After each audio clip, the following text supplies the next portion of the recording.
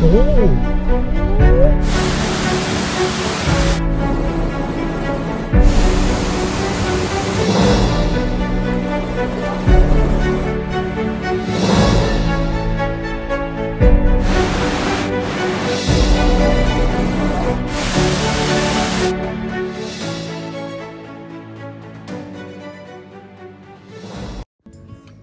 สวัสดีครับ คลิปนี้เราเอารถเข้าไปลุยลาวใต้กันนะครับ โดยมีเป้าหมายคือ 5 น้ำตก 1 แก่ง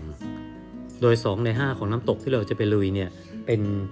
unseen ตัวท็อปของทวีปเอเชียเลยก็ว่าได้ครับ มีความงามระดับโลกเลยครับ เราร่วมทีมกับคณะคาราวานนะครับ โดยมีผู้สนับสนุนหลักคือบอสใหญ่ของมงคลคาร์เซ็นเตอร์ คุณมงคลจุลทัศน์ หรือพี่นาย ประธานหอการค้าจังหวัดอุบลราชธานี ร่วมกับคุณเต้ บอสใหญ่ของ Ironman 4คุณ4 Thailand เป็นผู้สนับสนุนหลักในการจัดคาราวานครั้งนี้ครับ คาราวานมีจุดนัดพบที่อำเภอขงเจียม จังหวัดอุบลราชธานีนะครับ เพื่อเข้าลาวทางด้านช่องเม็ก ระหว่างผ่านจังหวัดอุบล ก็แนะนำร้านนี้เลยครับ อาหารเวียดนาม ชื่อร้านอากาเว่รสชาติอร่อยนะครับ ร้านนี้ได้มิชลินครับ ผมทานแล้วผมว่าได้มิชลินยังจะน้อยไปด้วยซ้ำใครมีโอกาส ผ่านไปแถวนั้นก็ไปลองกันดูนะครับ เขามีแป้งแหนมเนืองที่ไม่เหมือนใครนะครับ กินง่ายดีครับ ผมชอบ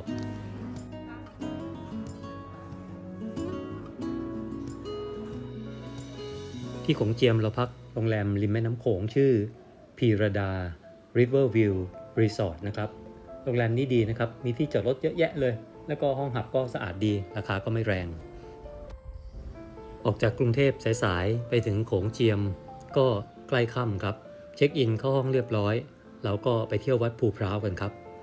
วัดภูพร้าวนั้นมีชื่อเต็มๆก็อย่างที่เห็นในป้ายนะครับ วัดนี้มีชื่อเรียกอีกอย่างหนึ่งว่าวัดเรืองแสงนะครับ เพราะว่าลวดลายที่อยู่ที่พื้น พอถึงเวลากลางคืนแล้วเนี่ยก็จะเรืองแสงขึ้นมาครับ ใช้โทรศัพท์มือถือถ่ายโดยปิดแฟลชก็จะได้ภาพออกมาประมาณนี้ครับ พอถึงตอนเช้าก็ตื่นไปนั่งกินกาแฟรอดูพระอาทิตย์ขึ้น ริมแม่น้ำโขงครับ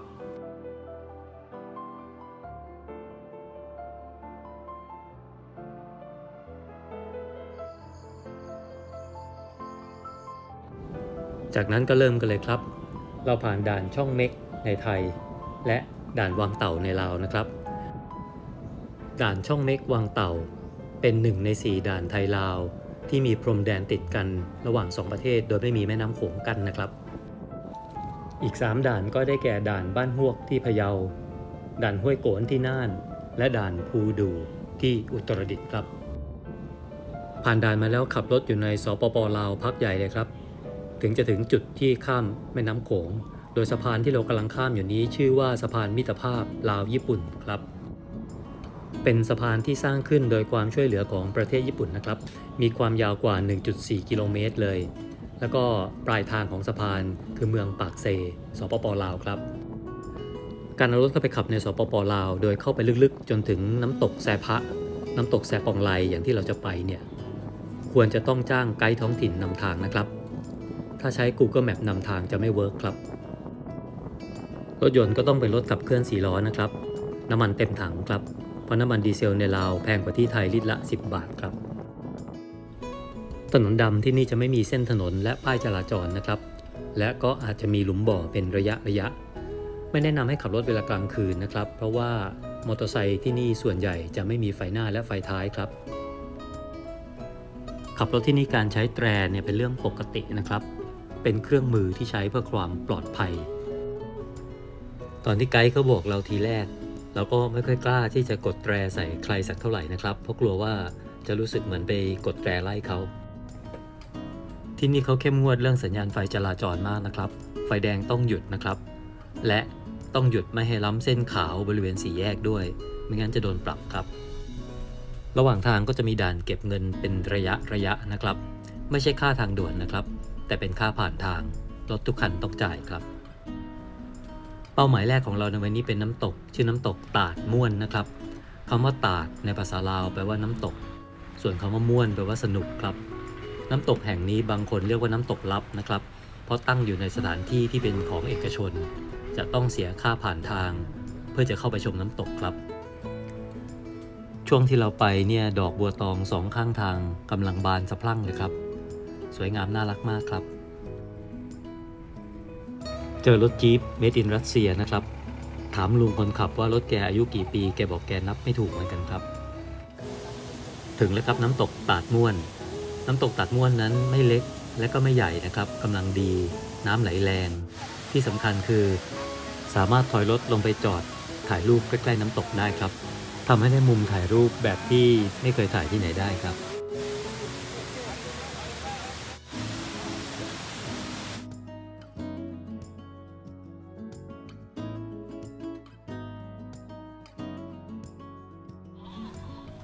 เป้าหมายต่อไปของเราคือน้ำตกแสพะนะครับ ซึ่งช่วงนี้ก็จะขับรถยาวหน่อยครับ เพราะเป็นการขับข้ามจากแขวงจำปาสัก ไปยังแขวงอัตตปือ ซึ่งอยู่ทางด้านตะวันออกของแขวงจำปาสักนะครับ และสภาพถนนก็ไม่ค่อยจะดีครับทำให้ต้องใช้เวลาช่วงนี้พอสมควร ช่วงเวลาที่เหมาะสมที่จะเข้าไปเที่ยวน้ำตกในสปปลาวก็เป็นประมาณช่วงเดือนมิถุนายนถึงเดือนตุลาคมนะครับ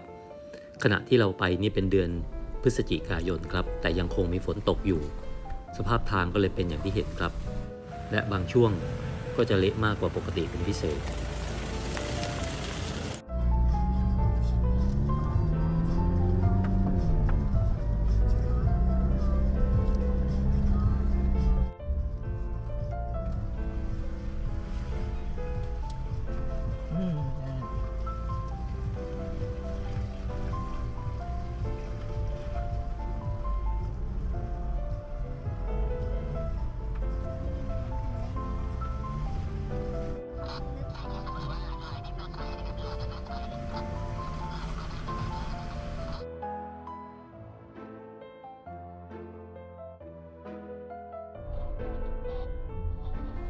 และในที่สุดเราก็มาถึงครับ โอ้โห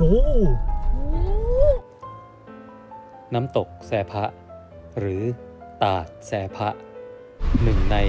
Unseen Amazing น้ำตกลาวใต้ครับ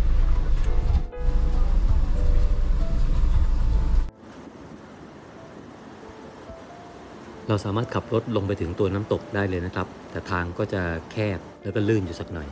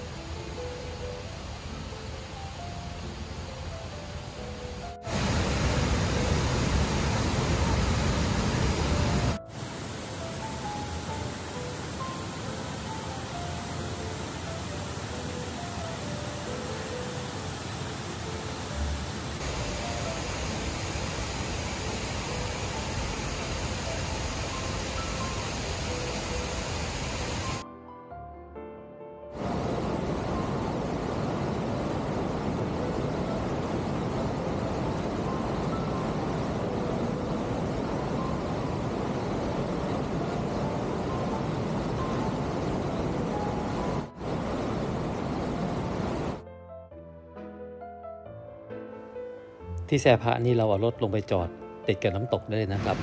เล่นน้ำได้ กางเต็นท์ได้ แต่ไม่มีสิ่งอำนวยความสะดวกครับ คืนนี้เราสองคนเลือกที่จะกางเต็นท์นอน face กับตัวน้ำตกเลยครับ ไม่มีสิ่งอำนวยความสะดวกก็ไม่เป็นไรครับ เช้าวันรุ่งขึ้นเรามีปัญหาเรื่องยางหลังด้านขวาโดนตะปูตำนะครับยางแบนทีม service ของ Iron Man รู้เข้าก็รีบเข้ามาให้ความช่วยเหลือในทันทีเลยครับ และที่เห็นกำลังหมุนแม่แรงนี่นั่นเป็นพี่นายนะครับ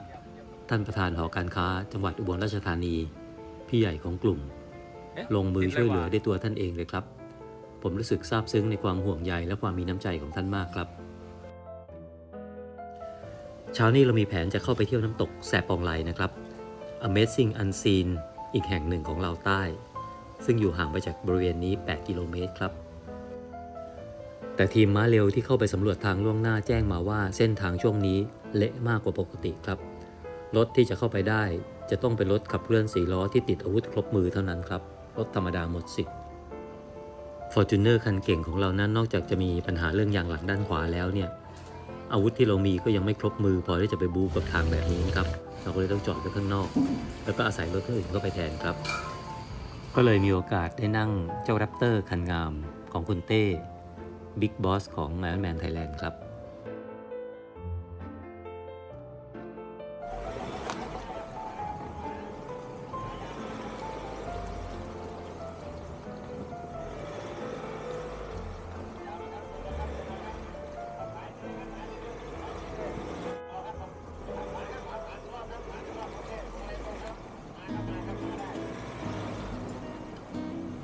เป็นระยะทาง 8 กิโลเมตรที่เละจริงที่เขาว่านะครับ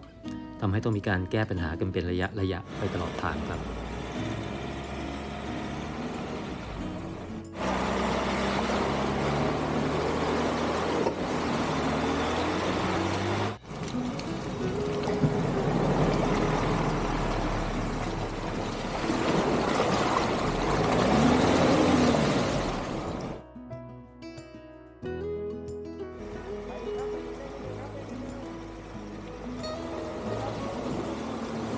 เป็นการคุ้มค่านะครับที่ลุยเข้ามาครับ ขณะนี้น้ำตกแซปองลายอยู่ตรงหน้าเราแล้วครับสำหรับตาดแซปองลายเนี่ยนะครับ เราจะขึ้นไปเที่ยวด้านบนก็ได้ หรือจะลงมาเที่ยวด้านล่างก็ได้ครับ แต่ถ้าอยู่ด้านล่างจะสวยกว่า เพราะจะเห็นสายน้ำไหลลงมาจากหน้าผาสูงครับ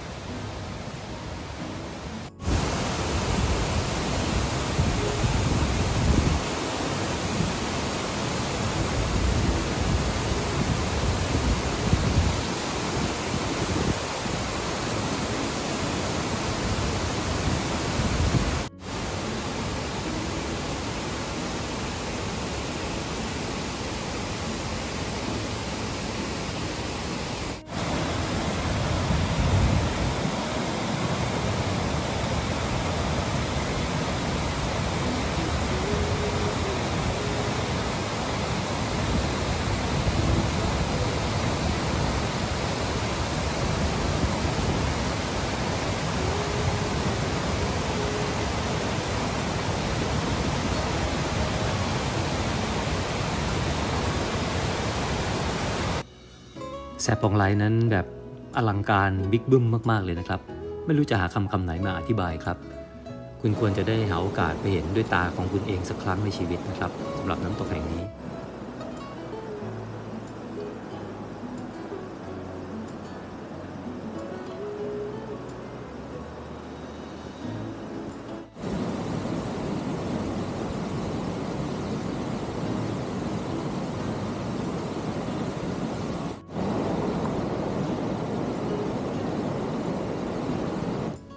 จากแซบของไหลเราก็ขับรถลุยทางเละๆกันต่อไปนะครับ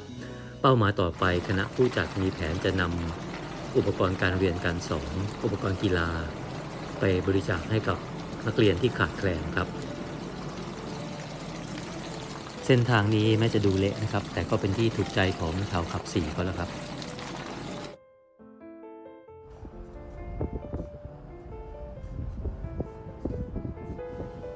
ถึงโรงเรียนที่ว่าแล้วนะครับ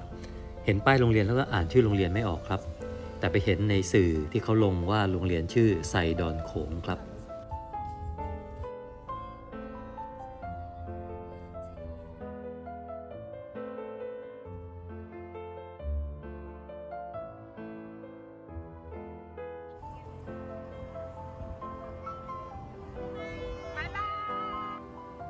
แล้วเราก็ไปต่อกันที่น้ำตกตาดเฮือนเป็นเป้าหมายต่อไปนะครับ ที่น้ำตกแห่งนี้มีร้านอาหารอยู่ติดกับน้ำตก เขามีไก่ย่างที่อร่อยมากเป็นพิเศษครับ เราก็เลยทานอาหารกลางวันกันที่นี่ เสร็จจากอาหารกลางวันก็ไปเดินเที่ยวน้ำตกกันครับ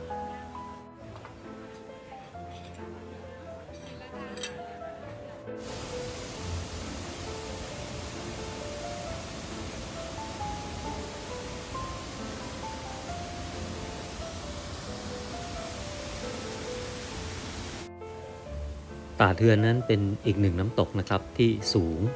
น้ำเยอะ แล้วก็น้ำไหลแรง ตามแบบฉบับของน้ำตกของสปปลาวครับ จากนั้นเราก็ไปต่อทางตอนใต้ของสปปลาว ส่วนที่ติดกับประเทศกัมพูชานะครับ บริเวณนี้จะมีเอกลักษณ์เป็นพิเศษก็คือแม่น้ำโขงจะกว้างใหญ่จนสุดลูกหูลูกตา และมีเกาะแก่งมากมายครับ จนได้รับการขนานนามว่าเป็นมหานาที 4,000 ดอนครับ ที่นี่เราจอดรถไว้บนฝั่งนะครับ แล้วก็นั่งเรือไปนอนโรงแรมบนเกาะกลางน้ำโขง ชื่อโรงแรมดอนเดทครับสำหรับอาหารค่ำในคืนนี้นะครับ คณะผู้จัดมีการทำพิธีบายสี สู่ขวัญผูกข้อมือ จับฉลากแจกของรางวัลให้กับผู้ร่วมทริปมูลค่าหลายหมื่นบาท แล้วก็มีการเป่าเค้กวันเกิด มอบของที่ระลึกให้กับคนที่เกิดภายในเดือนนี้ด้วยครับ เช้าวันรุ่งขึ้นเราก็ทานอาหารเช้ากับบรรยากาศสวยๆ ริมน้ำโขงที่กว้างสุดลูกหูลูกตาครับ ทานข้าวเสร็จเราก็นั่งรถแบบสไตล์ซาฟารีเวิลด์เพื่อจะเข้าไปเที่ยวแก่งหลี่ผีครับ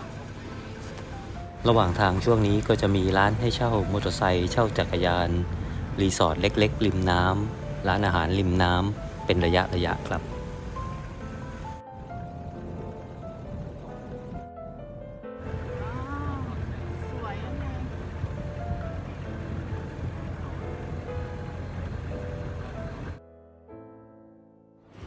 หลีผีเป็นแก่งซึ่งเกิดจากการเปลี่ยนระดับของลำน้ำโขงนะครับ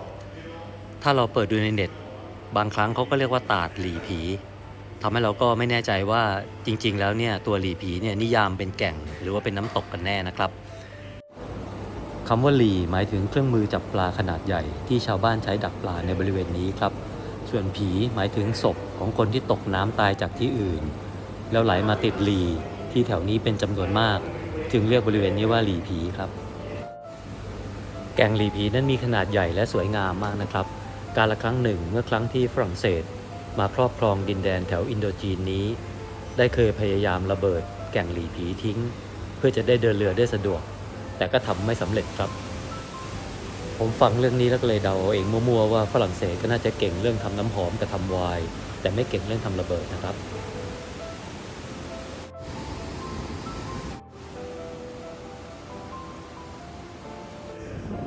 จากหลีผีเราก็นั่งรถกลับโรงแรม เช็คเอาท์จากโรงแรมดอนเดทนั่งเรือกลับขึ้นแผ่นดินใหญ่ เพื่อเดินทางต่อครับ ช่วงเรือข้ามน้ำเห็นได้ชัดว่าแม่น้ำโขงในบริเวณนี้กว้างใหญ่สุดลูกหูลูกตา สมคำเล่าลือจริงๆครับ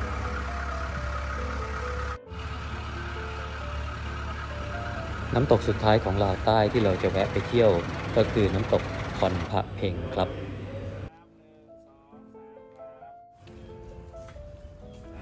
และที่นี่ก็เป็นอีกมื้อหนึ่งนะครับ ที่เราได้รับประทานอาหารกลางวันอร่อยๆริมน้ำตกสวยๆครับคอนพระเพงก็เป็นน้ำตกที่เกิดจากการเปลี่ยนระดับของลำน้ำโขงที่ความสูงประมาณ 20 เมตร ลักษณะคล้ายๆ กับแก่งลีผี แต่กว้างใหญ่กว่าครับ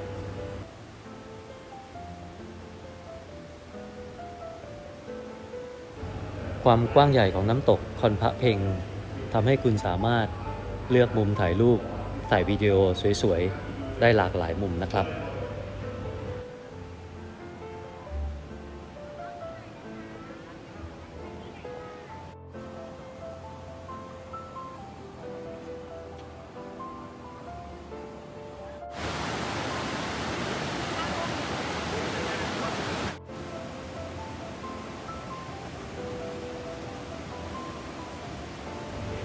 และสามารถเดินลงไปถ่ายวิดีโอหรือถ่ายรูปใกล้ๆได้เลยนะครับ ถ้าไม่ขี้เกียจตะกายกลับขึ้นมา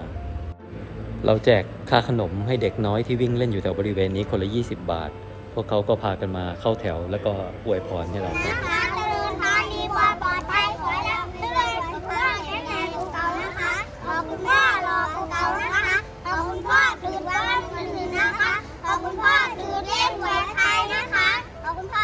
ฟังออกแค่ว่าขอให้คุณพ่อหล่อกว่าเก่า และขอให้คุณพ่อถูกเลข6ตัว แค่นี้ก็พอใจแล้วครับ และในที่สุดก็ได้เวลาขับรถข้ามกลับฝั่งไทยครับ เราพักนอนโรงแรมฮอปอินในตัวเมืองอุบลหนึ่งคืน จัดการซ่อมยางให้เป็นที่เรียบร้อย เตรียมพร้อมเดินทางกลับกรุงเทพครับ ก่อนออกเดินทางก็แวะไปทานอาหารเช้า ยอดนิยมที่ร้านดังของอุบลซะหน่อย จบทริป 5 น้ำตก 1 แก่งของเราแต่เพียงเท่านี้นะครับ โดยมีไฮไลท์อยู่ที่ 2 อภิมหาน้ำตก ตาดแสพะ และตาดแสปองไลแห่งสปปลาวครับสำหรับท่านใดที่รับชมและชอบก็กรุณากดไลค์ กดแชร์ กด subscribe ตามแต่ท่านจะเห็นสมควรนะครับ ขอขอบคุณทุกท่านที่รับชมรับฟังครับ และพบกันใหม่คลิปหน้าครับ สวัสดีครับ